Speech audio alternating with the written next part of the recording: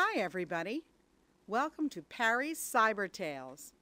I'm going to read you the story about Little Red Riding Hood. You may think you know the story, but this one's a little different. Bring up your chairs, sit down and get comfortable.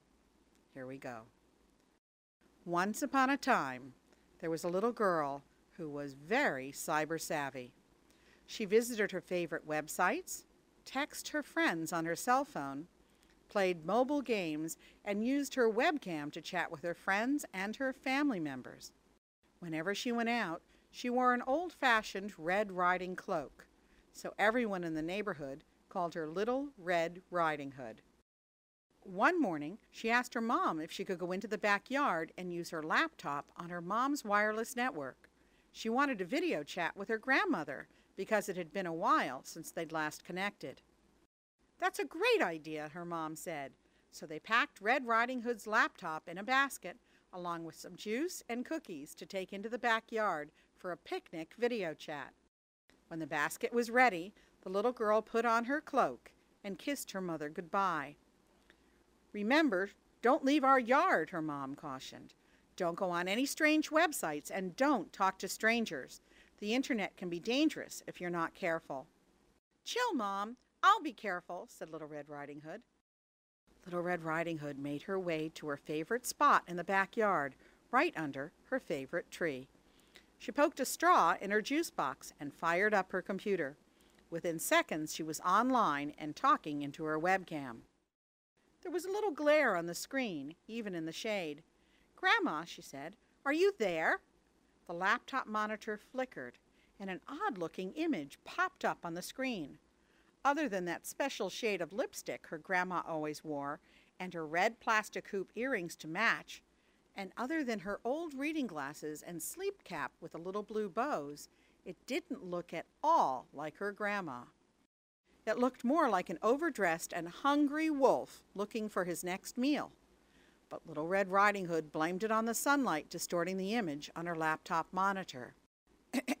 yes, I'm here, replies the creature on the webcam screen in a raspy voice as he moved more deeply into the shadows. Grandma? asked Little Red Riding Hood. Your voice sounds funny. Is there something wrong with the mic I sent you? oh, I just have a touch of a cold, replies the wolf, adding a cough to stress the point. But, Grandma, what big ears you have, said Little Red Riding Hood as she edged closer to the monitor.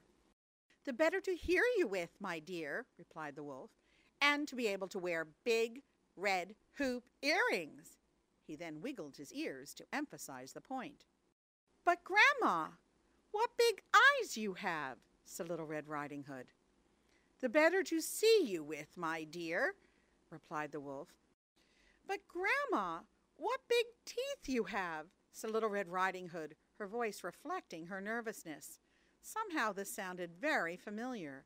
She had heard this conversation somewhere before. Maybe in a fairy tale? The better to. the wolf hesitated while he searched for an answer. the better to smile with, said the wolf. We are getting pictures taken after all, the wolf smiles expectantly.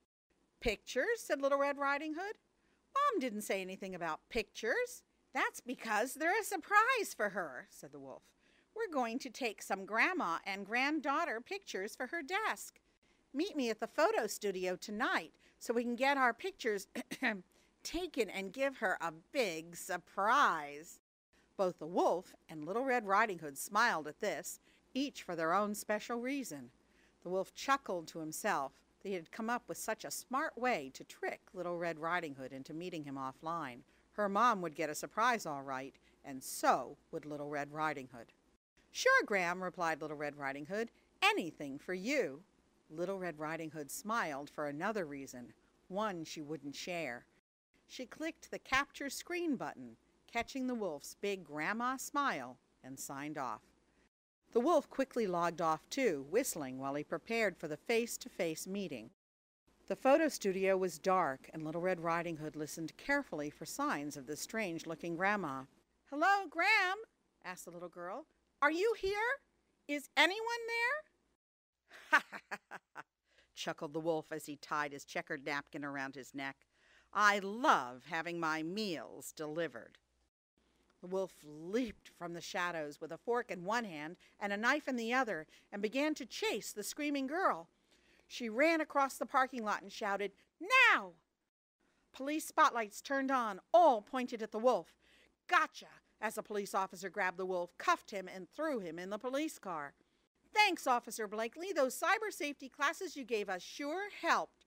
I remember seeing those cartoons Wired Safety did, showing us how you never know who someone really is when they're online. The earrings and sleep cap were a dead giveaway, she said, smiling broadly. Grandma would never wear red earrings and a blue cap. She has much more style than that. And she gave up her reading glasses for contacts two years ago. The police officer laughed looking at the image of the wolf in Grandma's clothing that Little Red Riding Hood had printed from the screen before she logged off. And don't worry, we found your Grandma. Is she okay? asked Little Red Riding Hood. Yes, the earrings and clothes the wolf had he stole from your grandma's stuff to be given to Charity Bag on her back porch, said the police officer. And when I reached her, she emailed me this picture. The police officer showed Little Red Riding Hood the picture her grandmother had sent. Way to go, Grandma, said the girl, who felt much better now. The police officer and Little Red Riding Hood laughed at the picture, as it was of her grandma surfing the waves on a beach in Hawaii.